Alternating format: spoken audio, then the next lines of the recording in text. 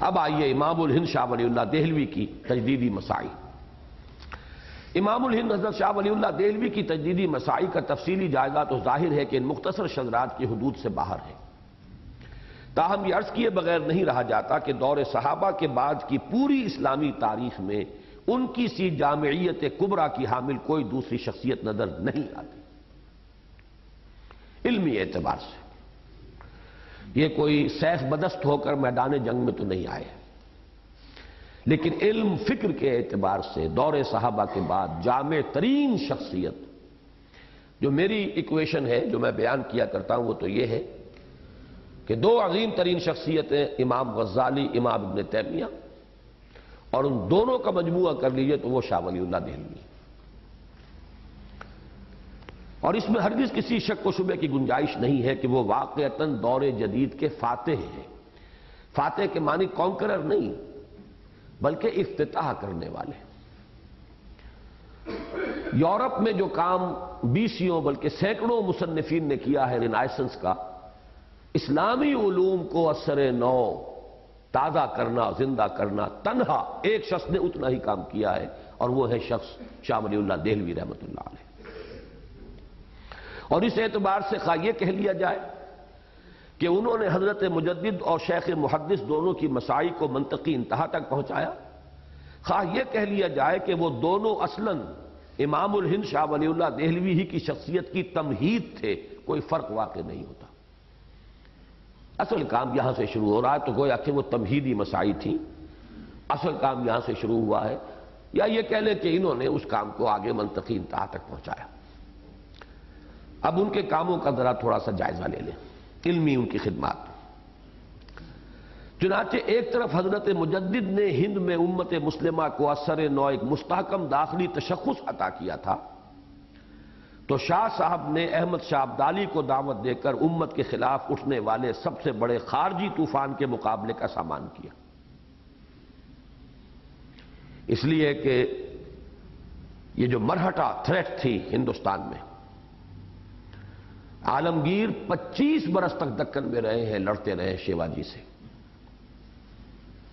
پچیس برس تک دلی آنا نصیب نہیں ہوا اس پچاس برس کا دور حکومت ہے، پچیس برس دکن ہی میں رہے وہیں دفن ہوئے۔ اورنگ آباد میں دفن ہے۔ جو مولانا مودودی کی جائے پیدائش ہے۔ تو انہوں نے اچھا اس کے بعد جب یہ طوفان بہت اٹھا، عالمگیر نے کچھ نہ کچھ کرش کر دیا تھا۔ لیکن اب اس کے اوپر پھر یوں سمجھیے کہ پون صدی بیت گئی تھی۔ کچلا نہیں گیا تھا، وہ سانپ جو ہے اس کا سر، وہ دوبارہ طوفان بن کر اٹھا ہے مرکزی حکومت جو ہے ویسے ڈاما ڈول تھی اس کی کوئی حیثیت ہی نہیں تھی، طوائف الملو کی ایک دوسرے کے خلاف کبھی برہٹوں کے ساتھ ساز باز کر رہا ہے۔ ایک مسلمان نواب اپنے دوسرے مسلمان دشمن کے خلاف۔ کبھی دوسرا ان کی مدد لے رہا ہے۔ وہ رفتہ رفتہ چھا گئے پورے ہندوستان پر۔ اور اس وقت انتہائی شدید خطرہ تھا ان کے اندر، شدید دشمنی مسلمانوں کے ساتھ۔ آج بھی جتنی بھی یہ اینٹی مسلم موومنٹس ہیں، ان سب کے گڑھ اسی علاقے میں۔ مہاراشٹر۔ شیو سینا ہے تو وہاں سے ہے، آر ایس ایس کا ہیڈ کوارٹر ہے تو وہاں ہے۔ وہ شخص جس نے گاندھی کو مارا گاڈ سے اور اس نے اسی جرم میں مارا کہ اس نے اس کے نزدیک گاندھی مسلمانوں کی پشت پناہی کر رہا تھا۔ وہ بھی وہیں کا ہے، وہی علاقہ۔ تو مسلمان دشمنی میں، مسلم دشمنی میں، پورے ہندوستان میں چوٹی پر ہے وہ علاقہ۔ اور وہاں سے یہ مرہٹا قوت ابھری تھی۔ اب شاہ ولی اللہ ایک درویش دہلی میں بیٹھے ہوئے اپنے حجرے میں، لیکن وہ صورتحال کو دیکھ رہے ہیں۔ دیکھیے، سیاستدان نہیں تھے۔ نہ امیر تھے، نہ گورنر تھے، نہ درباری تھے، کچھ بھی نہیں تھے۔ لیکن نگاہ ہے، دیکھ رہے ہیں۔ حالات کے نفس پر ہاتھ ہے۔ خطرے کا اندیشہ ہو گیا ہے۔ اور پھر کہاں سے؟ ہندوستان میں کوئی شکل نہیں تھی۔ کوئی قوت ایسی نہیں تھی کہ جس کو اپروچ کرتے۔ لہذا خود خط لکھا ہے احمد شاہ عبدالی کو، اسے بلایا ہے۔ اور پانی پت کی تیسری جنگ میں پھر احمد شاہ عبدالی کے ہاتھوں اللہ نے مرہٹا قوت کو توڑا ہے۔ یہ ہمارے پروفیسر یوسف سلیم چشتی صاحب کا ایک بڑا ہی محبوب موضوع تھا، اس پر وہ تقریر کرتے تھے تو جس جذبے کے ساتھ اور شوق کے ساتھ اور جو معلومات ان کے پاس تھی کہ واقعتاً اللہ کی مدد تھی۔ مرہٹا فوج کے لیے ایک بہت بڑی کمک آئی۔ ہزاروں اس کے اندر وہ جانور تھے جن کے اوپر وہ گندم لدی ہوئی ہے، پیسہ ہے، سامان ہے۔ فوج کے لیے کمک آئی ہے۔ راستہ وہ بھول گئے، پہنچ گئے ابدالی کے کیمپ میں۔ ساری مدد اور کمک مل گئی عبدالی کو۔ تو اللہ کی طرف سے ہوتا ہے۔ لیکن یہ کہ بہرحال کچھ نہ کچھ اسباب ہوتے ہیں۔ تو اب یہاں دیکھیے میں نے ان دونوں کو جمع کیا ہے۔ ایک طرف حضرت مجدد نے ہند میں امت مسلمہ کو اثر نو مستحکم داخلی تشخص عطا کیا۔ یہ داخلی تشخص تھا، اتباع سنت، شریعت کی پابندی۔ یہ داخلی تشخص کی پریزرویشن ہوئی، استحکام ہوا۔ تو شاہ صاحب نے احمد شاہ عبدالی کو دعوت دے کر امت کے خلاف اٹھنے والے سب سے بڑے خارجی طوفان کے مقابلے کا سامان کیا۔ اور حضرت مجدد نے رد روافظ سے جس کام کا آغاز فرمایا تھا، یہ ان کا رسالہ شیعت کی نفی میں۔ اس کی تکمیل شاہ صاحب نے ازالت الخفا عن خلافت الخلفاء اور قرۃ العینین فی تفضیل شیخین اور ان کے صاحبزاد شاہ عبد العزیز نے تحفہ اسنا عشریہ ایسی کتابوں کی تصنیف سے کی۔ یہ دو کتابیں ازالت الخفا خلافت الخلفاء، یہ بڑی چوٹی کی کتابیں ہیں۔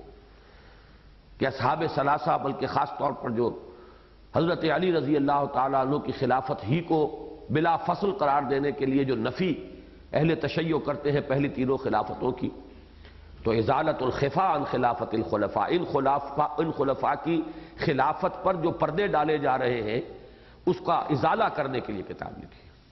یہ خلفاء برحق تھے۔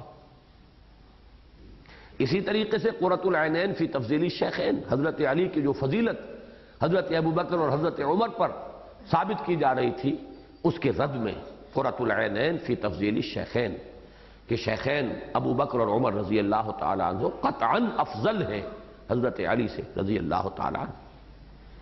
اور پھر تحفہ اسنا عشری اسنا عشری کہلاتے ہیں نا، یہ بارہ اماموں کے ماننے والے جو ہمارے ہاں شیعہ ہیں۔ باقی تو اصل میں تو وہ جن کا معصوم امام اب بھی موجود ہے، مکمل شیعہ تو وہ ہے یہ تو درمیان میں لٹکے ہوئے ان کا امام بھی غائب ہے۔ اس اعتبار سے وہ امامیہ جو ہے اصل میں تو وہ ہے بہرحال اسنا عشری ان کو کہتے ہیں تو تحفہ اسنا عشریہ شاہ عبد العزیز نے کتاب لکھی۔ اور دوسری طرف شیخ محدث نے علم حدیث کا جو پودا سرزمین ہند میں لگایا تھا، عبدالحق محدث دہلوی رحمۃ اللہ علیہ نے، شاہ صاحب اور ان کے خلفاء نے نہ صرف یہ کہ اس کی آبیاری کی، بلکہ اپنی انتک کوششوں سے سنم خانہ ہند کو علم حدیث نبوی کا ایک عظیم الشان چمن بنا دیا۔ عجیب مشابہت ہے کہ شیخ عبدالحق محدث دہلوی نے مشکات المصابی کی ایک شرح عربی میں لکھی تھی اور ایک فارسی میں۔ اسی طرح امام الہند شاہ ولی اللہ دہلوی رحمۃ اللہ علیہ نے معطا امام مالک کی ایک شرح عربی میں لکھی، المصوع، اور ایک فارسی میں لکھی، المصفہ۔ واضح رہے کہ شاہ صاحب کے نزدیک معطا امام مالک کو علم حدیث کے ذیل میں اصل اول کی حیثیت حاصل ہے۔ کیونکہ پہلا مجموعہ جو مرتب ہوا ہے وہ معطا ہے۔ اس لیے شاہ صاحب کے نزدیک باقی تمام کتابوں پر فوقیت ہے، اہمیت کے اعتبار سے معطا امام مالک کو۔ اس پر متضاد ہیں۔ اب یہ تو وہ کام تھے جو حضرت مجدد نے شروع کیے یا شیخ عبدالحق محدث دہلوی نے شروع کر دیے تھے۔ اس میں پیش قدمی ہوئی فردر ایڈوانس جو شاہ ولی اللہ دہلوی کے ذریعے ہوا۔ اس پر مستداد ہے شاہ صاحب کے وہ کارنامے جن کی بنا پر یہ کہا جا سکتا ہے کہ اسلام کی نشت ثانیہ کے طویل عمل کا اصل نقطۂ آغاز انہی کی ذات گرامی ہے۔ مثلا ایک یہ کہ علم فقہ کے میدان میں ایک طرف آپ نے اقد الجید فی احکام الاجتہاد و تقلید تصنیف فرمائی، جس سے تقلید جامد اور اجتہاد مطلق کے مابین اعتدال کی راہ واضح ہوئی۔ اب یہ جو مقلد جامد یہاں پر بس حنفیت ہی حنفیت اور اس کے سوا کچھ نہیں۔ تو شاہ صاحب نے یہ کتاب لکھی کہ ایک درمیانی رائے، اعتدال کی رائے اختیار کرنی چاہیے، تقدیر جامد۔ اور یہ بھی نہ ہو کہ آدمی مادر پدر آزاد ہو جائے۔ کچھ نہ کچھ تو کسی کھوٹے سے تو بدا رہنا چاہیے۔ اسی دوسری طرف الانصاف فی بیان سبب الاختلاف، ایسی مارکت اور آرا کتاب لکھی۔ یہ کتاب جو ہے، اس کا موضوع یہ ہے کہ یہ واضح کیا جائے کہ یہ فقی اختلافات کس وجہ سے ہوئے۔ اب اگر آپ کو معلوم ہو کہ ایک شخص یہ کہہ رہا ہے، ایک شخص یہ کہہ رہا ہے، یہ تو زمین و آسمان کا فرق ہو گیا، ایک مشرق کی بات کر رہا ہے، ایک مغرب کی۔ لیکن معلوم ہو جائے کہ اصل نقطہ بیچ میں کیا ہے۔